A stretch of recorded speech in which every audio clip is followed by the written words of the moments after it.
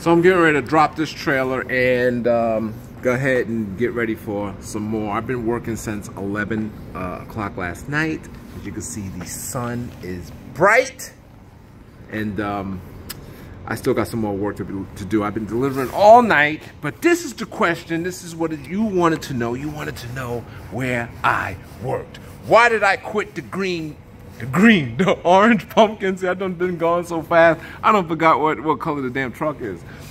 Uh, why did I quit the orange pumpkin? Not why, but I, yeah, why did I quit?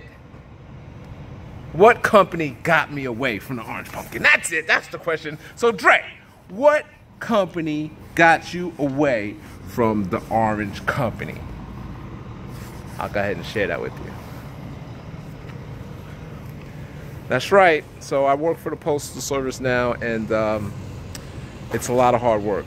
Um, very hard work. So, um, but it's easy. The money's all right, and um, you know, uh, you know, career kind of thing. Uh, you know, with the 401k, medical, I get all that stuff back. I ain't paying for no more of my my my benefits. You know, so I got benefits again, and um, I'm just working hard and uh, it's a good deal. It's a good deal. So I think it, it, to me, it was definitely worth getting off the road to go ahead and work for these guys.